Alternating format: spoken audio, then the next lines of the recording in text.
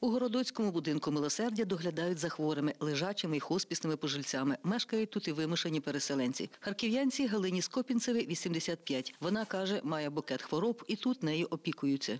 поліартрит, бронхіальна астма, друга група, гормонозалежна. Тут вони нянькаються з усіма. Обов'язково кожного дня перевірка тиску, температури. Жінку привезли сюди з Полтавської лікарні, куди вона потрапила після травм під час обстрілу в Харкові. Оце було все здерте, тому що чомусь мені заманулося припасти на бетонну плиту. Укриття у нас не було.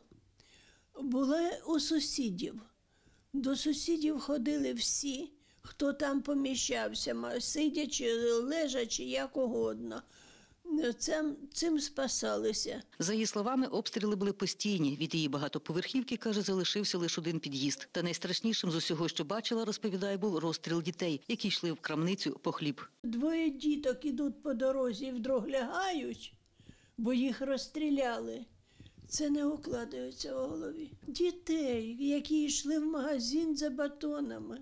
Свою пенсію жінка віддає будинку милосердя за їжу, тепло й медичний догляд. Харків'янин Вадим Тютя не має змоги платити за перебування. Розповідає, потрапив сюди після ампутації ноги. Я е, хотів бігти в бомбосховище, але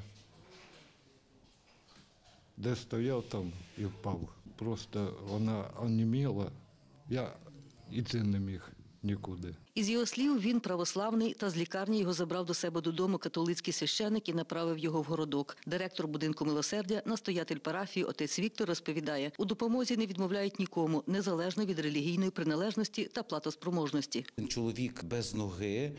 е, Немає, не мав праці, немає ні пенсії, ні зарплати, нічого.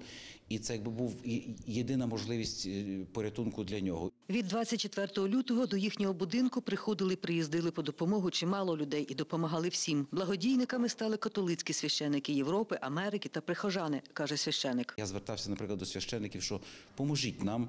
І люди приносили на парафіях продукти, медичні е, речі, памперси, е, багато тих речей, про котрі ми просили. Це було дуже багато людей і могли приймати сюди. За його словами, скільком людям допомогли, не рахували. Світлана Поробок, Іван Мовчан, Суспільне новини, Хмельниччина.